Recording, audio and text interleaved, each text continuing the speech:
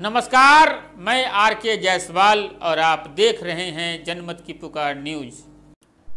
बिहार में हो रहे पंचायत चुनाव में नवादा जिला की अकबरपुर प्रखंड अंतर्गत गोविंद बिगा पंचायत के मुखिया प्रत्याशी उमेश पासवान ने गुरुवार को अपने कार्यकर्ताओं के साथ घर घर जाकर लोगों से भेंट की और अपने लिए वोट मांगा।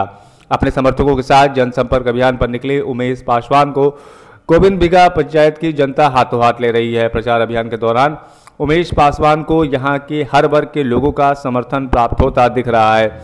मुख्य प्रत्याशी उमेश पासवान की विकास पर सोच और अच्छे व्यवहार के कारण इस बार गोविंद बिगा पंचायत की जनता उन्हें जिताने का मन बना चुकी है। कहा जाता है कि उमेश पासवान एक मध्यम परिवार के सदस्य हैं। और वे चुनाव लड़ने से मना कर रहे थे, लेकिन पंचायत की जनता की मांग और इच्छा का सम्मान करते हुए वे मैदान में उतरे हैं। पंचायत की जनता की नज़र में उमेश पासवान एक सच्चे व्यक्ति हैं, वे लोगों के बीच रहते हैं।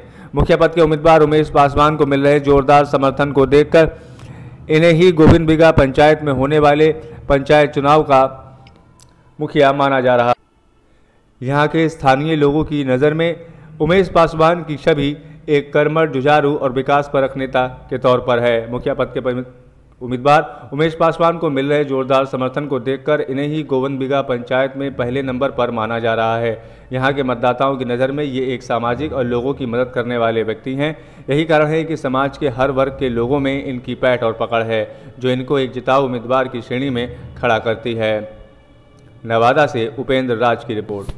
नमस्कार, मैं आर के जायसवाल और आप देख रहे हैं जनमत की पुकार न्यूज़। अगर आप जनमत की पुकार को यूट्यूब चैनल पर देख रहे हैं तो कृपया चैनल को सब्सक्राइब कर लें या फेसबुक पर देख रहे हैं तो पेज को लाइक करें, फॉलो करें।